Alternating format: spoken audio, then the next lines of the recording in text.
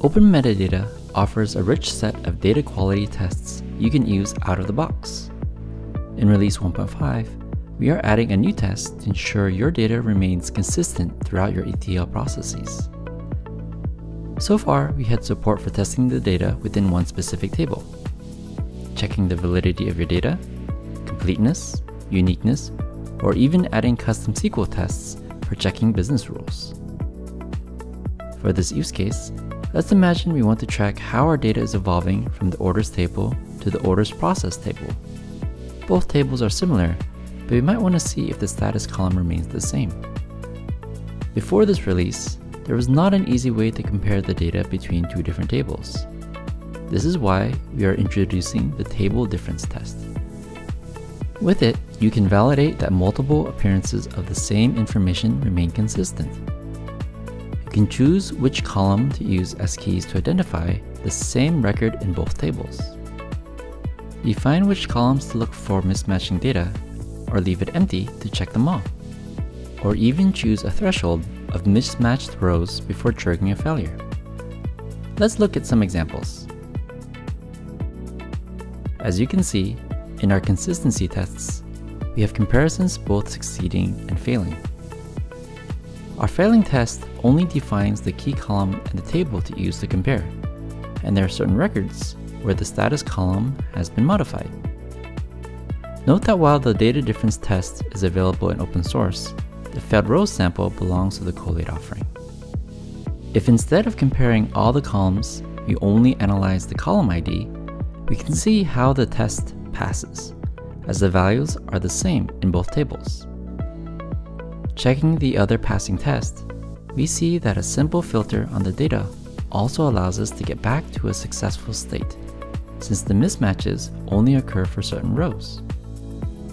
With the table difference test, you can now cover even more data quality use cases natively with open metadata, ensuring the consistency of your data every step of the way. Open metadata. With open metadata, we want you to be able to find the data that you need as quickly as possible. To help you do that, we have revamped the Explore panel to make it easier to navigate through your data. Clicking on any element of the tree will automatically populate the filters at the top bar. We also understand that different users have different needs. You can define user personas by going to Teams and User Management and selecting Personas. Here, you can add as many as you need to match the functions of your organization. Then, you can customize the landing page of each user persona to help them find out the information they are looking for. Go to Preferences and Customize Landing Page. Following the goal of finding the right data quickly, we have introduced the Data Asset widget, which will display your services directly on the landing page. With it, users can quickly explore by directly clicking on the technologies they are familiar with. With Open Metadata, all your data is just one click away. Open Metadata. Dividing your data into domains can help you organize the assets that can be owned by multiple teams. In previous releases, we already added the ability to create domains, add assets to a domain, and sharing some of them as data products. With release 1.5, we are introducing subdomains to give you more flexibility when organizing your data. On top of this, we are now adding RBAC controls to allow only users from a specific domain to visualize the data. Note that you can still use data products to showcase publicly consumable data assets.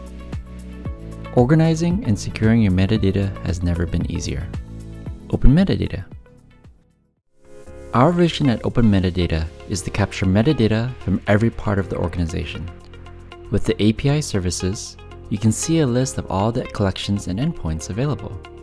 Inside each of them, you can check both the request and response schemas, plus other key elements of metadata, such as ownership, tiering, classification, and lineage. Now, you're one step closer to having full end-to-end -end root cause analysis, compliance, and observability on your data stack. Open metadata.